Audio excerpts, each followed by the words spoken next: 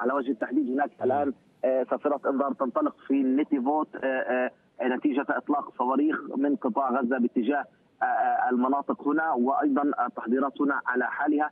الجيش الإسرائيلي يستعد بقوة ويدفع أيضا بمزيد من التعزيزات ناقلات جند يدفع بدبابات بالدبابات ميركافا وغيرها من الآليات العسكرية الإسرائيلية التي تمر من الشارع حيث نقف مباشرة وتتجه إلى حدود القطاع، غزة لا تبعد عنا سوى بضعة كيلومترات حيث نشاهد في الصورة هناك قطاع غزة وأيضا البلدات الإسرائيلية المحاذية هنا تتعرض أيضا لقصف هائل. في هذه اللحظات أيضا هناك صافرات إنذار في مناطق مختلفة في محيط نير عام وهي طبعا بلدة هنا مستوطنة إسرائيلية على حدود القطاع تتعرض الآن لاطلاق من الصواريخ التي تنطلق من قطاع غزة. هذه طبعا الصورة حتى هذه اللحظة ولكن نحن نتحدث عن جولة من التصعيد. إسرائيل أعلنت بأنها لن تتوقف على الأقل في غضون يومين أو حتى أسبوع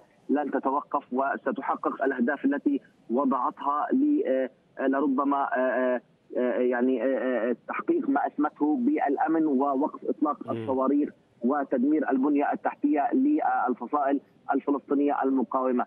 هنا لربما يعني نكاد نكاد نجزم بأن هناك شبه لمنع تجوال كامل في المناطق. إسرائيل أغلقت كل المنطقة الجيش الإسرائيلي المتواجد هنا أغلق المنطقة الجيش الإسرائيلي المتواجد هنا أغلق المنطقة بالكامل. لا دخول ولا خروج من هذه المنطقة من منطقة يعني المستوطنات المحاذيه لقطاع غزة. فرضت حواجز حتى أن الصواريخ وصواريخ القبة الحديدية التي كانت تتصدى لصواريخ المقاومة كانت سقطت وأحدثت حرائق هائلة.